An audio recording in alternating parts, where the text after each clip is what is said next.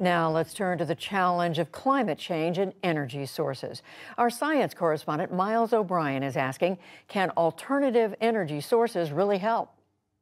Let's take a ride, yeah. shall we? All right, so what is this? We're this about to... a... It's a Toyota Mirai fuel cell vehicle.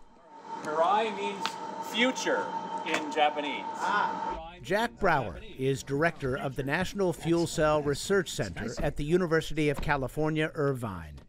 He is convinced a future that runs on hydrogen, like this car, is finally around the corner. How's the performance?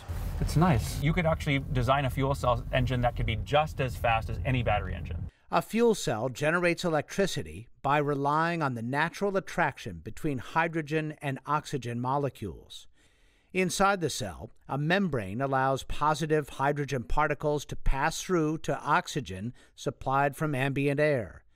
The negative particles are split off and sent on a detour, creating a flow of electrons, electricity to power the motor. After their work is done, all those particles reunite to make water which is the only tailpipe emission on these vehicles. The main thing that is a benefit from the fuel cell engine is you can go farther, and then of course hydrogen's light, so you can put a lot of hydrogen on board a vehicle and have it carry its full payload. Up until now, fuel cells have had a bumpy, sporadic ride. First imagined in 1839, they finally moved into a real world application in the 1960s when NASA developed them as a way to generate electricity on Apollo spacecraft. Then, 40 years later, President George W. Bush pledged more than a billion dollars in federal funding to spur widespread adoption of hydrogen fuel cell cars. With a new national commitment, our scientists and engineers will overcome obstacles to taking these cars from laboratory to showroom so that the first car driven by a child born today could be powered by hydrogen and pollution free. But when people looked under the hood, they were less impressed with the idea. After all, most hydrogen is produced with methane, so there really was nothing climate friendly about hydrogen. You could probably say it was a little bit of greenwashing. Yeah, I would agree with that. And it kind of tainted hydrogen a bit, if you will, as something that enables fossil to keep going.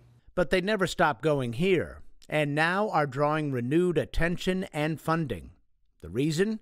Cheap and increasingly plentiful wind and solar power generation make it possible to employ renewable electricity to split water molecules, making hydrogen carbon free, so called green hydrogen.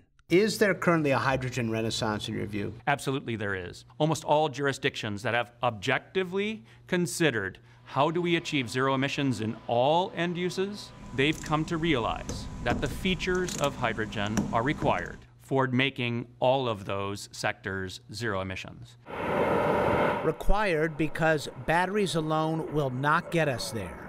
Planes, trains, ships, and trucks need less weight and longer range than batteries will likely ever provide.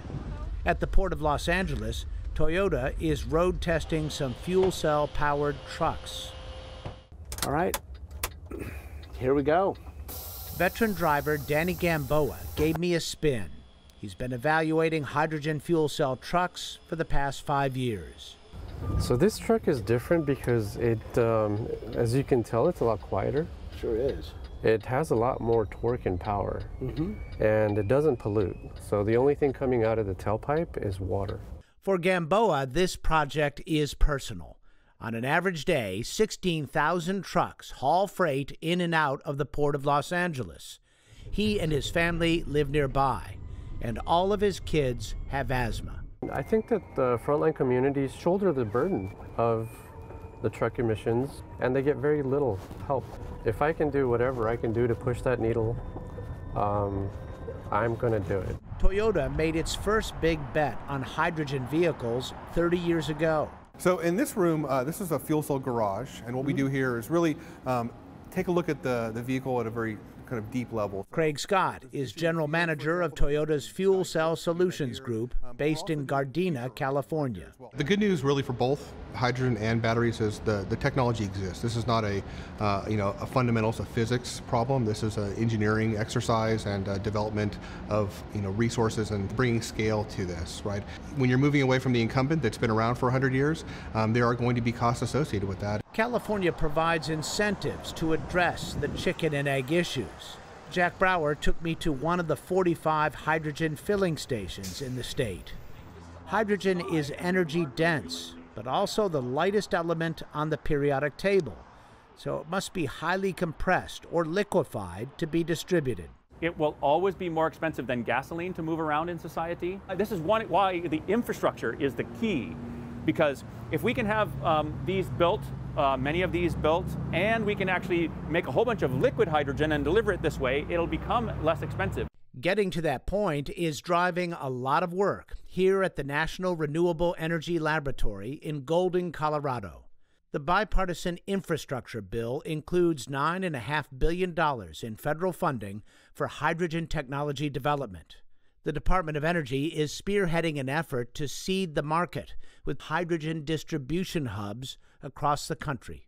I think to go big, to really get toward a, a national hydrogen network, the government incentives and government support and partnership are critical. So this is the Energy Systems Integration Facility. Mechanical engineer Keith Wipke runs the Fuel Cell and Hydrogen Technologies Laboratory here. You know, what are you working on in your lab right now that's going to make this all happen? Definitely the number one goal is to make hydrogen cost less. Uh, to produce it. There's an ambitious hydrogen shot goal to get down to $1 per kilogram in one decade. Solar and wind uh, took 30, 40 years to get to where they are now. We need to do the same thing with hydrogen in just 10 years. They are refining every aspect of hydrogen production. Here, they are testing new materials and techniques to improve the performance of devices called electrolyzers that can pull hydrogen out of water. The magic is in how do you do that with as least electricity as possible. And that's really where our research is. To complete the picture, they are building an extensive wind and solar farm to power hydrogen electrolysis. The hydrogen can be used for grid level energy storage, providing power when the wind is not blowing and the sun is not shining. So hydrogen can enable a, an all renewable grid, potentially. Absolutely. Hydrogen can enable a huge uh, penetration of renewables onto the grid and not need those baseload power plants that are typically using combustion today. Hydrogen is once again seeing a moment in the sun, and this time the technology and the urgency may spark a more positive reaction. For the PBS NewsHour, I'm Miles O'Brien at the Port of Los Angeles.